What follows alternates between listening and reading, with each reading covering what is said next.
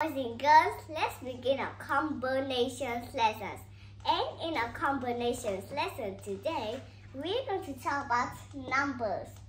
This is the number one. One, O-N-E, one. Two, T-W-O, two. Three, T-H-R-E-E, three.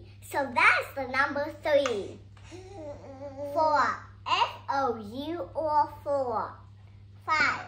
F E V E five. Six. S I X six. Seven.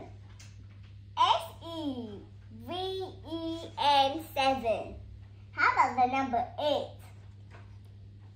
Eight. E I G H T eight. Oh, okay. Eight. E I G H T eight. Nine. N-I-N-E, nine. Nine. N-I-N-E, nine. So that's the number nine. How about ten? Ten. T-E-N, ten.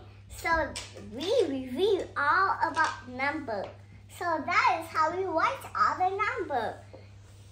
Do you know how to write numbers? This is number 1, 2, 3, 4, 5, 6, 7, 8, 9, 10. So we count 1 all the way to 10. Can you count it? Now let me hear you count.